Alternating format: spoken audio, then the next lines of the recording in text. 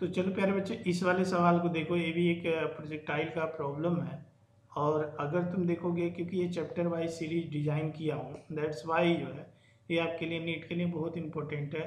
Distance y and x the horizontal plane of the projectile on a certain planets चलो, कहीं भी चले जाओ सर्टेन प्लेनेट पे, ये वाली जो डिस्टेंस है दैट इज़ एक्स और ये वाली जो डिस्टेंस है इधर दैट इज़ द वाई तो ये डिस्टेंस एक्स है और ये वाली डिस्टेंस अपनी कुछ वाई है, इधर वाई ठीक ना?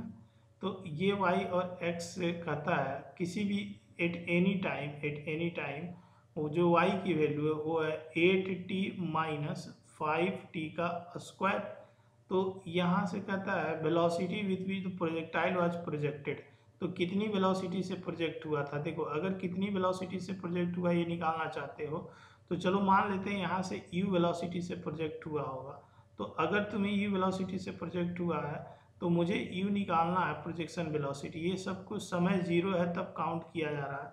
तो इसके बाद दो वेलोसिटी होगी, एक हॉरिजेंटल वाली, एक वर्टिकल हॉरिजेंटल वाली वेलोसिटी हो जाएगी यू एक्स और वर्टिकल वाली वेलोसिटी हो जाएगी यहाँ से यू वाई तो वेलोसिटी या प्रोजेक्शन जो यू की वैल्यू आ जाएगी, यहाँ से यू की वैल्यू आ जाएगी, वो आ जाएगी यू एक्स का स्क्वायर प्लस यू वाई का स्क्वायर और ये सब कुछ अंडर रूट यही तो हमें करना है। तो initial velocity t is equal to zero पे ये सब t is equal to zero पर हमें चाहिए। तो सबसे पहले वेलोसिटी तो निकालना फिर t is equal to zero पर हम लोग कैलकुलेशन करते रहेंगे।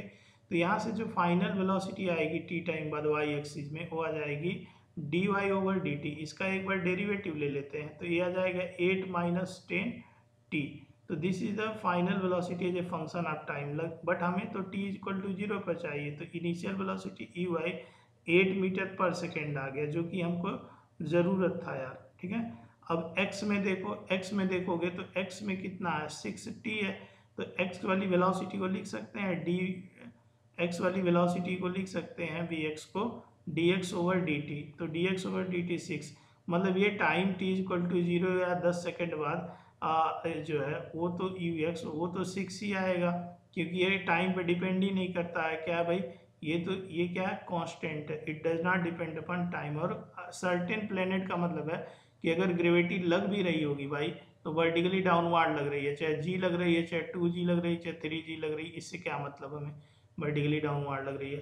तो अब हमें नेट वेलोसिटी इनिशियल वेलोसिटी चाहिए तो net u is equal to eight का स्क्वायर और प्लस सिक्स का स्क्वायर और ये सब कुछ अंडर रूट मतलब ये आ जाएगा sixty four plus thirty six मतलब हंड्रेड अंडर रूट मतलब यू की वैल्यू आ जाएगी टेन मीटर पर सेकेंड तो इस हिसाब से हम लोगों का बच्चों सी ऑप्शन सही हो जाता है। तो थैंक यू बाबा टेक केयर अपना बहुत ख्याल रखो।